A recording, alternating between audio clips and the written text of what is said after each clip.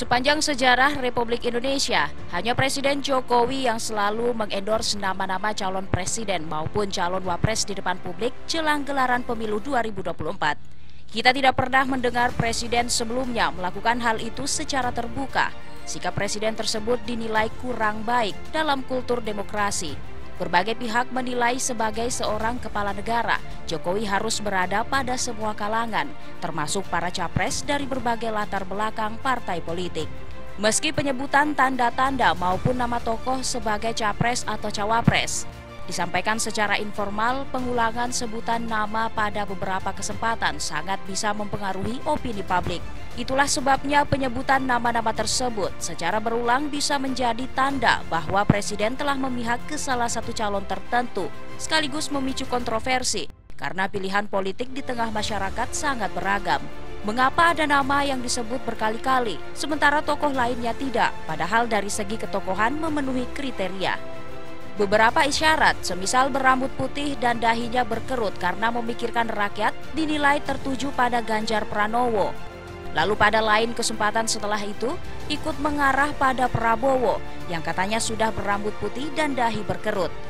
Nama lain juga diendorse, antara lain Erick Thohir, Sandiaga Uno, Mahfud MD, Erlangga Hartarto. Hanya ada dua nama yang populer seperti Puan Maharani, Sesama kader PDI Perjuangan dan Anies Baswedan tak pernah disebut dan disapa sebagai calon presiden, bahkan sekedar memberi tanda pun tidak. Sementara itu nama Prabowo terbilang sangat sering disebut pada berbagai kesempatan, terutama saat acara parpol.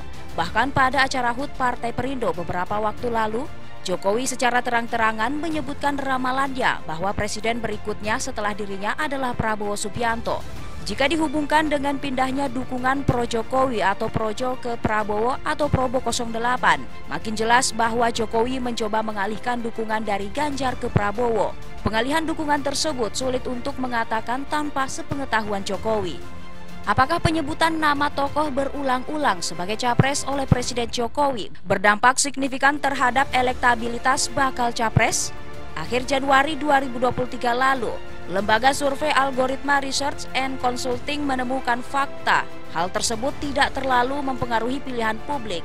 Variabel Jokowi cenderung tidak menjadi pertimbangan, melainkan berdasar pada kompetisi capres masing-masing. Hanya 16,1 persen responden yang tetap akan memilih siapa pun capres pilihan Jokowi pada 2024. Meski begitu, bukan berarti endorse nama bakal capres boleh dilakukan terbuka di depan publik. Tim Redaksi Fajar TV